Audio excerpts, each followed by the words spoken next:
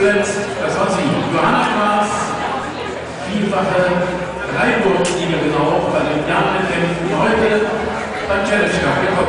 Bitte schön.